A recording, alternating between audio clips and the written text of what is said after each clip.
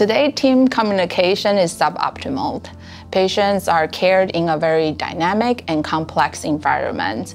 Providers often look for some physiological signs um, for um, patient deterioration, but nurses are the ones who often detect earlier and some of the subtle signs of patient outcome, such as a little change of patient effect. However, nurses may not be able to articulate the subtle cues that make their decisions. They often synthesize their decisions or their care, their concerns in those short comments by trying to highlight some of the oxygen saturation or how the oxygen supplement to physicians as an indicator of patient deteriorating status.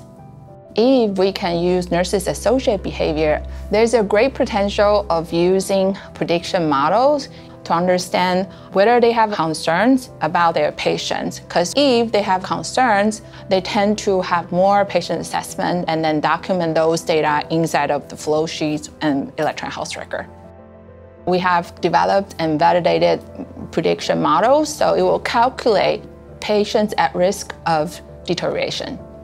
We're taking one step further to implement it in three different sites. They are Vanderbilt University Medical Center, Washington University Medical Campus, and also some of the remaining hospital at Mass General Brigham.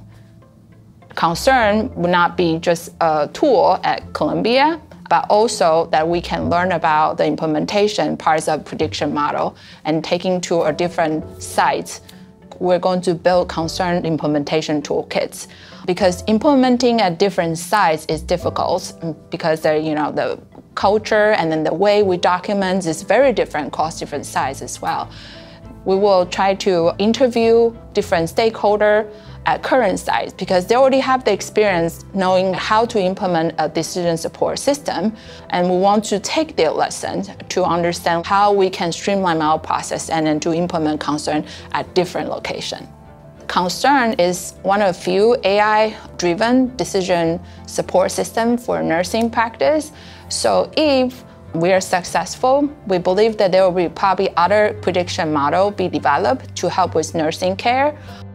Concern implementation toolkits will help us to transform nursing documentation to utilize those valuable data into information and even knowledge to improve patient care.